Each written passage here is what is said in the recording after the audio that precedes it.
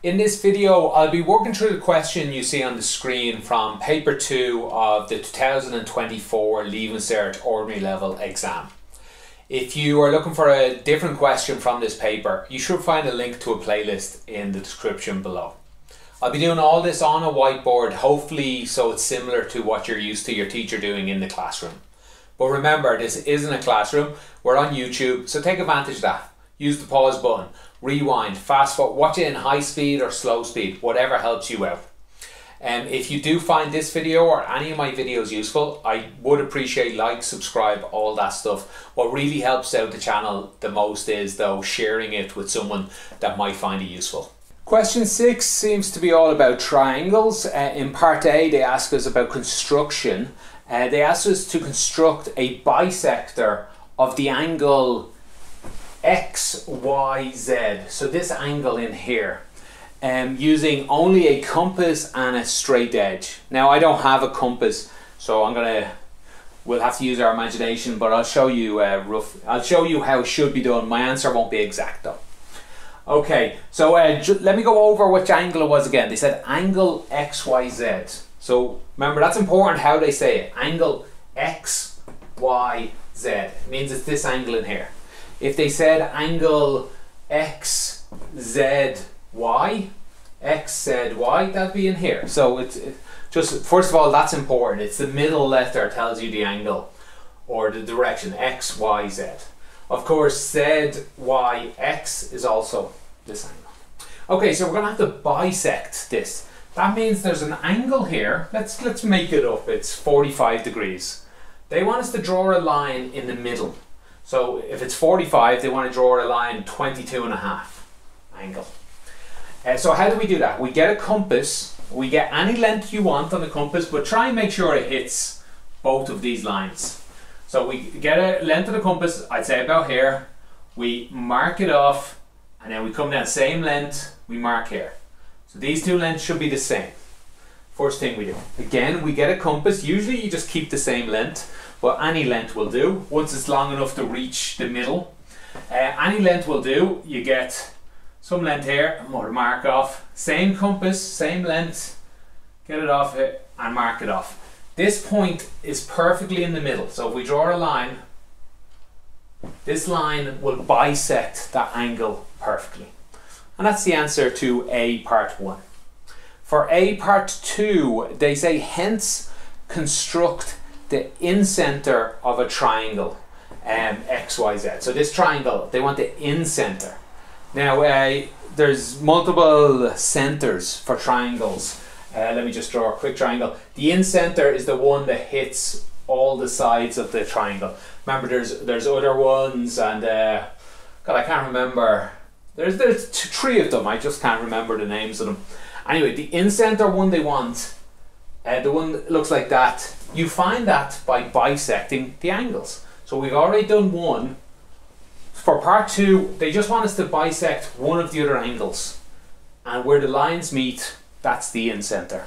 So I'll just do this one here. We'll get a, a compass, mark off, mark off, get a compass, mark off, mark off, and uh, that's the center. That's the in-center, that point there. Now, obviously, my drawing is not the best, but if you drew it correctly, you find the shortest distance to a side, should hit all the all the sides. It should be perfectly inside. Sir, they didn't ask you to draw the circle, but I, they just want this point. They just wanted two bisected angles, and uh, that was it for part A. Uh, for part B, they draw us a different triangle here, or two triangles. Um, a triangle, a big triangle, and a smaller triangle inside it. Uh, they have them all labelled here ABC and ADE. They tell us that the larger triangle is an image of the smaller one. So they've basically taken the small one and stretched it and it's become the bigger one. Um, and they've given us some lengths here. Now, just with these lengths and that piece of information, you can fill in every number you want on this. Sometimes I like to do that at the start of a question um, and then they just ask me to do it, and I just have the answers all ready to go. But let's do it the order they've asked.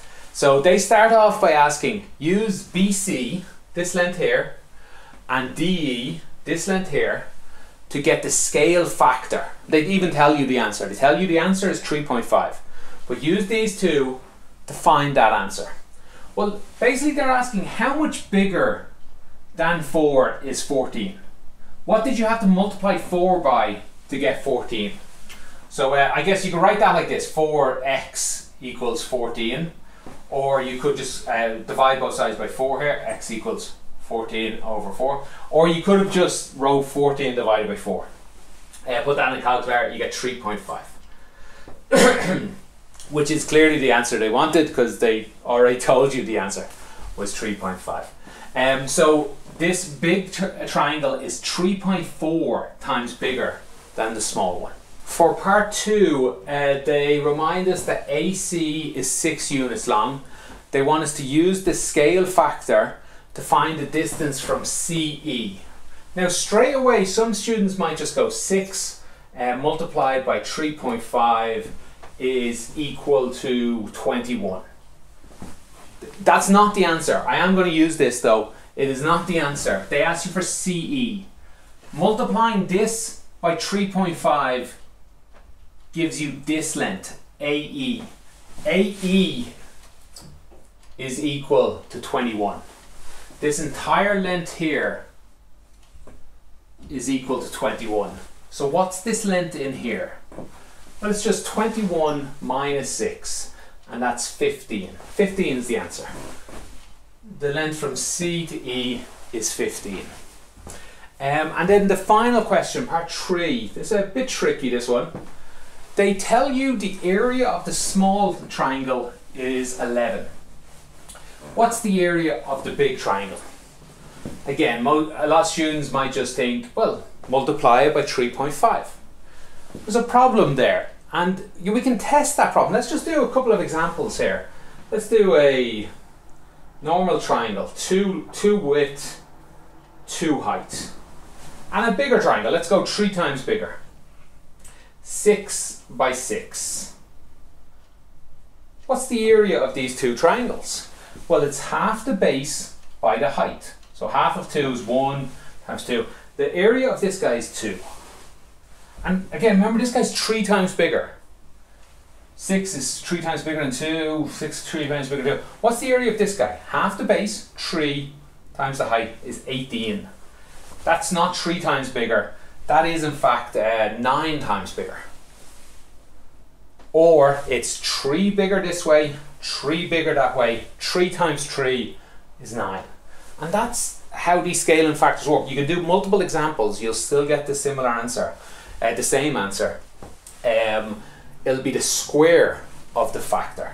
If it's 3 this way, it's 3 this way. And that's because this is two dimensions. We scaled it 3x in one dimension and another dimension. We need to do both. So if this was 11 um, the new one will be 3.5 times 3.5 bigger, or 3.5 squared. And if you put all that into a calculator, I get 134.75. And that's the answer to the last part of question 6. If you have any follow-up questions, please let me know. I'll do my best to get back to you. Thanks for watching and have a good day.